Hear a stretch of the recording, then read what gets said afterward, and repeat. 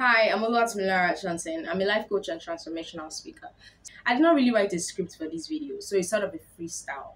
But I'm going to teach you what I wish somebody had taught me while I was going through my identity crisis in 2020, which is how to answer the question, Who are you?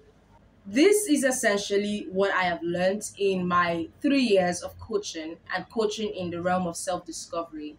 The very question, Who are you? Is not to be answered, but experienced. The answer to the question, Who are you? is not for you to just journal about, but for you to experience and express on a daily basis. The soul searching, the asking yourself these questions of, Oh, what are my core values? Right? It is to give you an awareness of what you value. Again, core values. So that you can know what to prioritize as you try to express who you are. Ma'am, I hope I I hope I didn't lose you. Do you understand what I'm saying? So all them journal prompts are to help you understand your core values, your the things that truly matter to you. So that you have a concrete idea of what to prioritize through your self-expression. So if you value family, through your expression of self, you validate that you prioritize that.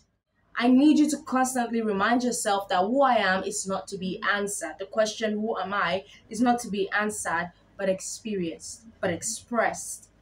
So if you're trying to answer the question, who am I, if you're trying to bring awareness to yourself about who you are and what you're seeking to express, you first must get in touch with or, or become aware of the persona that you're currently wearing and what is under that persona. Persona is the um it's like the mask that we all wear. It's the mask of the good girl.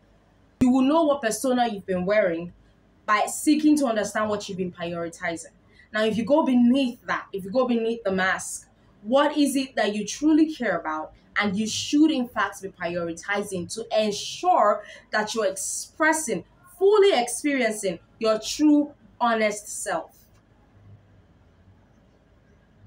I told you this was a freestyle, so the video is going to be extremely short. But if you're interested in downloading my free 7P framework workbook, just click the link in the description. Or if you want to sign up for my self-discovery and rediscovery program in March, you can also click the link in the description box. All the details you need are right there. Again, I'm Oluwatumilara Johnson. I'm a life coach and transformational speaker, and I've enjoyed, thoroughly enjoyed this few minutes I've spent talking to you. If you like my videos, please subscribe like the video, share it with somebody who is going through an identity crisis and you think this would, you know, really help them on their journey. And until next time, I'm wishing you love, light, and laughter.